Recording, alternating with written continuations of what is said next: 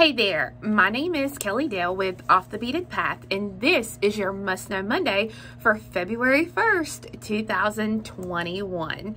I hope that your month is off to a great start, and Valentine's Day is very quickly approaching.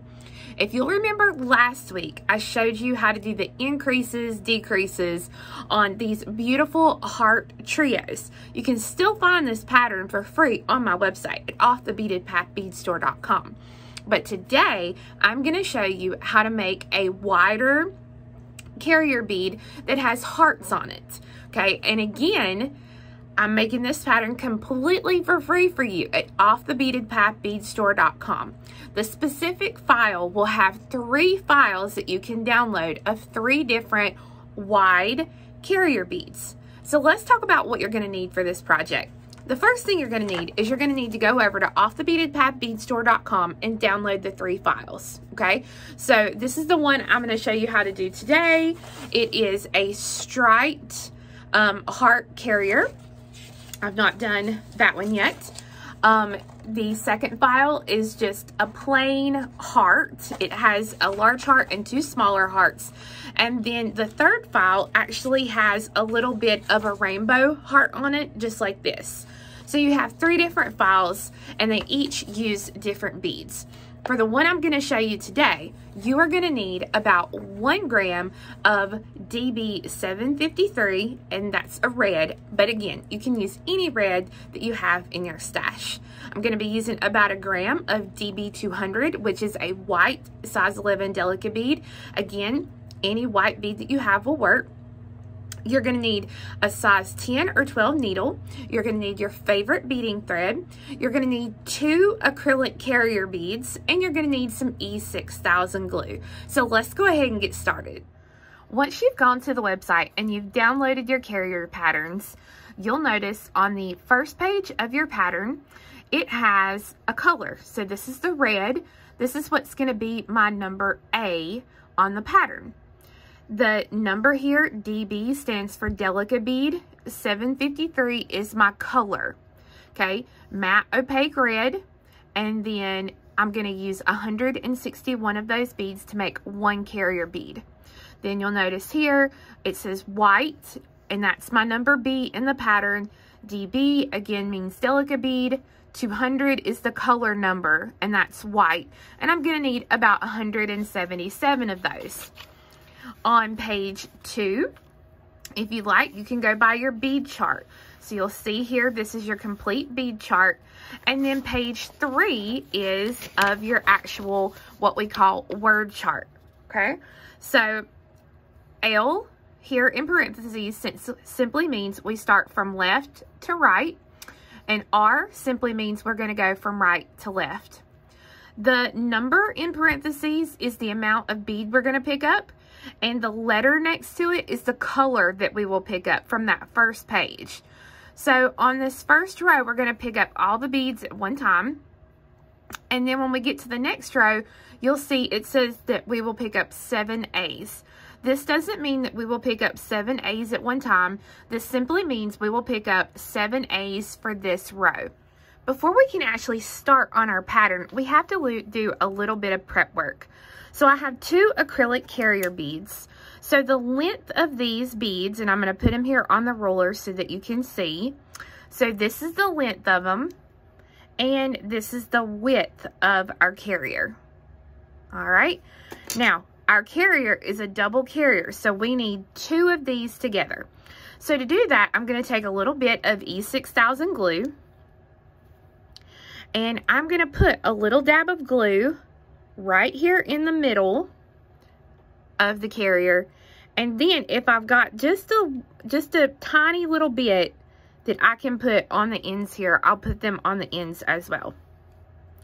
Go ahead and close up your glue so it doesn't seep out or anything. And I've got any excess, I'm going to go ahead and kind of get that off. Now I'm going to take my second carrier bead and I'm going to attach it to the first. The biggest thing is we want to make sure that the holes are lined up in the carrier. If there is a little bit of glue on the outside, that is okay. And I'm just going to take that carrier, make sure it's completely lined up, and then I'm going to set it to the side so it can dry. I have one here that I started a little while ago that has been drying just a little bit. It's still a little wet. And you can see that it's off just a little bit from where I've had it setting on my tray. So the good thing is, if you want to, you can actually take like a needle or something like that and put inside of these so it, that it will keep them lined up um, that always works really well if you want to do that. Um, the biggest thing is just check them before they start to get 100% dry to make sure that they are lined up and you are happy with the alignment of them because we need to get um, stretch cord or beading wire or something through these holes, okay? So I'm just going to set those back down where they were drying and then I'm going to get ready to start. So you can put on a stop bead if you want to. So I have a little purple bead here that I'm going to use as my stop bead. And I'm going to put this bead on. And I'm going to bring it down. And I want to leave about an 8 inch tail here. And where my stop bead is at, I'm going to take my needle and I'm going to come back up through that stop bead again. Just This will just hold our beads on for just a few minutes. All right. I'm putting that on there for just a minute. So now if you look at row one, and I'm going to put a little mark here so that I know I'm doing row one. I've got AB, AB, AB. So it's just an alternate pattern of AB until I have 13 beads threaded on. So let's go ahead and thread those on. So we start with red and white until we have 13.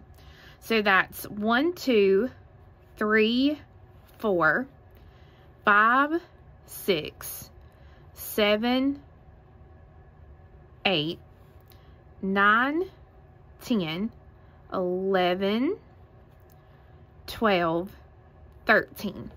So we start with red and we end with red and I'm going to double count to make sure I have 13. So I have 2, 4, 6, 8, 10, 12, and 13 and I'm going to bring these down all the way to where my stop bead is here. Okay, so now when we look at the next page or the next row here, that was row one and two. So row three says we are going to put on 7A. That doesn't mean, again, that I'm going to put them all at one time. I'm going to put them individually on. So I'll be putting seven beads on this row. So I'm going to, from where I'm at here, and I'm going to zoom in just a little bit so that way maybe it'll, you'll be able to see a little better. Because we started at the left and worked to the right. Now we're going to go to the right and work to the left. So I'm picking up an A.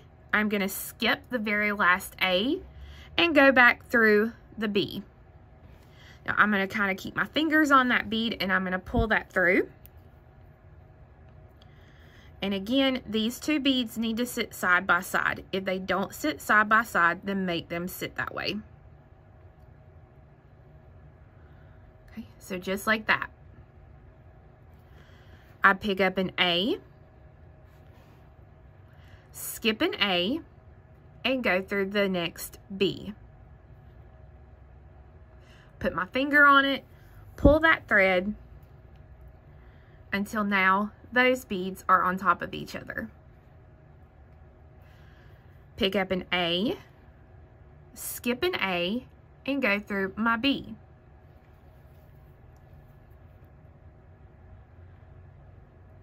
Pick up an A,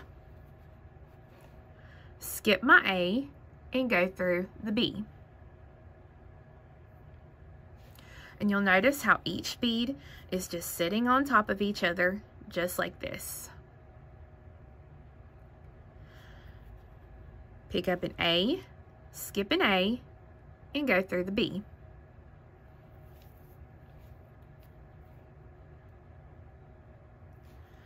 Pick up an A, skip an A, and go through the last B on the row. So now here's the deal. I have picked up, let me get this done here. Okay, so if I count the A's that I have added for this row, I have added one, two, three, four, five, six. So I still have to add one more A. The only problem is if I skip an A, there's no B to go through out here. So this is where we have to pull off our stop bead. And this is the odd count kind of turnaround. So I pick up my final A on the row. This is my tail thread here. All right. I've got that tail thread just kind of wrapped around my hand or my finger. And I'm going to take the needle and I'm going to go under that tail thread. I do not want this bead to go under this thread. So I pull and you notice how this bead is still staying on this side. And then I take my needle and I'm going to come back through that same A again. So when I pull it, that A is now in place. And you'll notice that my tail has moved up one bead. And that's exactly how it's supposed to be. Okay, so that was, let's get our pattern out. That was row three. So row four is 6B. So we're only going to pick up B's on this row. And so this is a really easy row to do. All I have to do is pick up a B and basically come through the next A that's sticking up. So I skip a B, go through an A. And that is going to pop that bead in place. Pick up a B, skip a B, and go through an A. pick up a B, skip a B, go through an A. So the start of this pattern is basically going to be the same until we get to the heart in the middle of our piece. So all we're doing is just working down the row, picking up those beads. So we have this striped pattern that we've got started here. So that was row four. So row five says we're going to pick up 7A. So I'm going to mark that so that I know I've got that. Now remember, I'm working back the other direction. I know that my odd count turnaround is coming up because over here's this tail thread. So I pick up an A, and then I come through the next B sticking up. And you'll notice I'm not flipping my piece back and forth. I'm just kind of working up and down. So that way I don't get anything turned around on this piece. And all I'm doing is simply picking up an A, skipping an A, and going through a B all the way down my piece.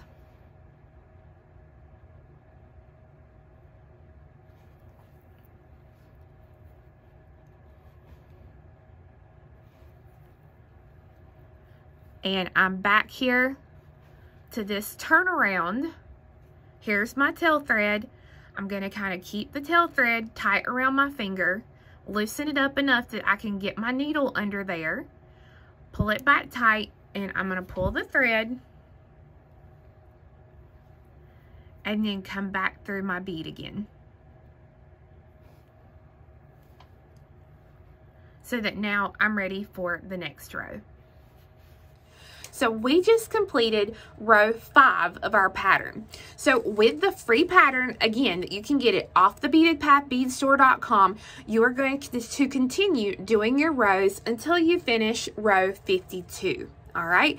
If by some chance you just totally don't understand the turnaround, we are going to link right below here in the description box several of my odd count videos where I have also showed this turnaround so that way you will have a more in-depth explanation of the turnaround.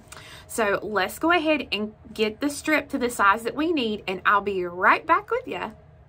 So once you have your word chart complete, this is what your strip should look like. Your strip should be about one and three quarter inches long and a little over a half inch wide. Once you have that, you're ready to prep now your double carriers. So what we're going to do is we're going to take, before we actually put these in, we're going to take our short tail thread and we're going to get rid of this tail thread. So I'm just gonna thread my needle on here. And then I'm just going to start stitching through the beads to get rid of this thread.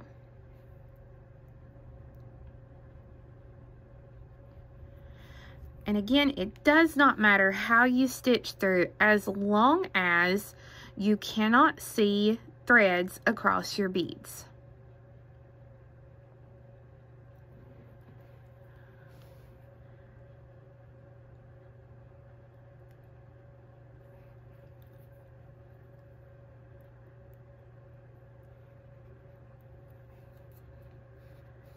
And as you pull your threads, make sure you pull them tight so you don't see any kind of thread in between here.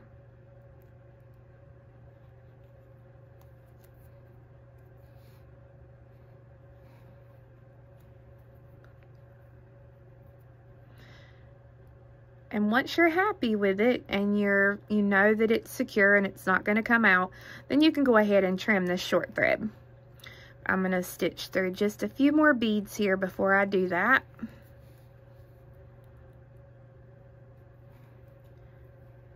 Pull that thread tight. I'll use my little nippers here. Pull that thread tight and cut. So now I'm going to use my E6000 glue again. I'm going to take just a little bit of the glue and I'm going to put here on the back side of the carrier.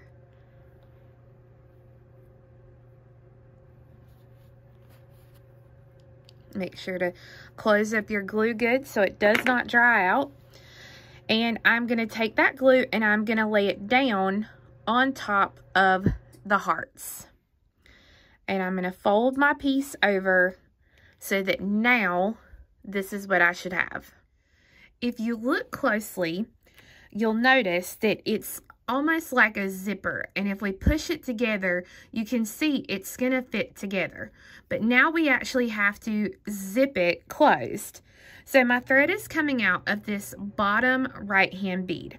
So I'm going to take my needle and I'm going to come up through the bottom left bead. And I'm going to leave it kind of loose right now so you can see. You'll want to pull the thread tight. So I'm coming out of the left bead. So I'm going to come to the right and I'm going to go through that next bead on the right that's sticking up, which is going to be a white bead. I'm going to take my needle and I'm going to come to the bead on the left that's sticking up, which is going to be a red bead. So I think you're able to see that when we come to the right side, we're going to be going through the white bead that's sticking up and we come to the left side, we're going to go through the red bead that's sticking up.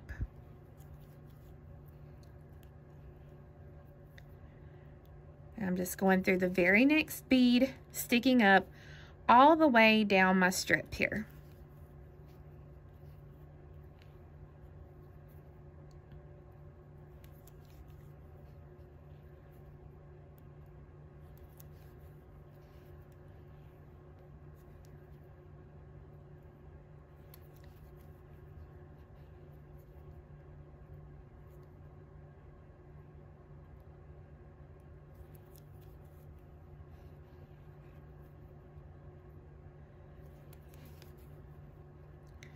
So that when I come and I come through the last bead here on the left, you can see that the piece is zipped up. You can't tell where I started and stopped, except for right here.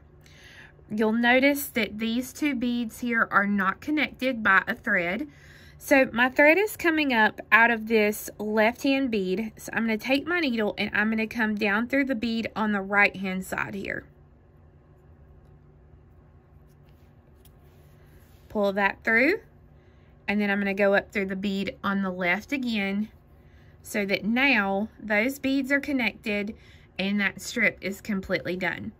So I'm going to take my thread and I'm going to zip it through to get rid of this thread and then I'm going to cut this thread off and you can see how cute that this little beaded bead is going to be. So let me go ahead and get this finished and I'll be right back with you. So once you have all the carriers made that you want to make, you can then turn it into a necklace or a bracelet or whatever you want. So you can see here, I've done some big carriers and then I've used the patterns that are for sale on my website to do smaller carriers and to put the word love. So I've taken two pieces of soft flex wire. This is what they call fine wire. It's a 0.014 diameter with 21 strands. And you can see here, I've got my two pieces. My top piece, I've threaded on a little four millimeter pearl in between each of those. And my bottom piece here has a six millimeter pearl in between each one of those beads. So once I get the front done, then I'm ready to start on the sides of my necklace. So the first thing I'm going to do is I'm going to take both pieces of wire and I'm going to separate them for now. And if they're uneven, you can go ahead and you can trim off any little excess piece that you have here. But I'm going to start with a six millimeter bead on each wire. And I'm just going to kind of let those fall for now. Then on each wire, I'm going to take and I'm going to put on a four millimeter bead.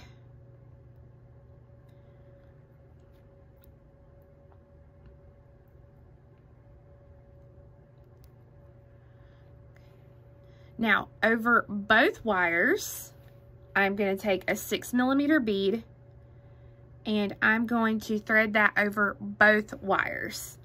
So when I pull this down, we want to get everything untwisted here. And when you pull it down, you want it to look something like this. So I've taken my tulip awl and I have kind of taken each of these six millimeter pearls and I've gone through both sides of the pearl. Sometimes your pearls have smaller holes where the actual paint that they put on the pearl, if you're not using a real pearl, you're just using like a glass pearl, um, that can cover up the hole. So I've kind of gone through and I've, I guess you could say I've culled um, these pearls and I'm just going to thread pearls over both strands of the wire until I get it to the length that I want. So I'm going to continue to thread on my pearls until I get it to the length that I already have decided upon on this other side. Now that I have the same length as I did over here, I'm ready to add the other part of my clasp. So to add the clasp, it's pretty simple. We're going to take a, this is just a two by two crimp tube and I'm going to thread that over both wires. Then I'm going to take a wire protector. I'm going to take both wires because I'm using a thinner wire here. I can get both of them through. So I'm going to take both wires and I'm going to go up one side. And I'm going to come down the other side, just like this. I'm going to thread my toggle bar on because see I did my heart here so this is going to be my bar here. And then I'm going to take these two wires and I'm going to come back through that crimp tube just straight back down through it. And I'm going to hold the bar and I'm going to pull the crimp tube straight down just like this making sure I don't have any spaces and it's exactly how I want it. Now I'm going to leave just a little bit of room here because I'm going to put on a crimp cover as well. So I'm going to take my crimping pliers. Remember you have a back hole that's shaped like a kidney bean and a front oval hole. So I'm going to put this in the back hole first. And I'm going to press and you see there it turns that crimp into like a little um, kidney bean now and it gives you your little indention there. So I'm going to come back from the front and I'm going to press to that inside hole. Now, I know that this is secure, so then I can take, because I know these two wires will not go back down through here, I can take and I can trim those wires. And then I will take my crimp cover and I'm going to put it in the front hole of my crimping pliers. I'm going to put it there and press.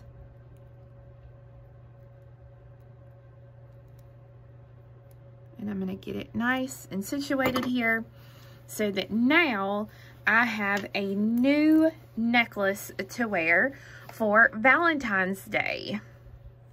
So guys, as you can see, this new carrier necklace is going to be fantastic for Valentine's Day. Remember, you can get the wide carrier bead patterns. There's three of those completely for free on my website at offthebeadedpathbeadstore.com as well as the smaller carriers and the love that is for sale on there as well. As always, we carry Delica beads, we carry the carrier beads, anything that you're going to need for this project. So I do hope that you'll check those out. Now guys, I have something so spectacular for you next week and I cannot wait. I'm going to be doing a collaboration video and there's going to be two days worth of videos and they're going to be back to back. So make sure you come back on Monday for an awesome new collaboration video. We'll see you guys later. Hope you have a great week and a great start to your February. Thank you.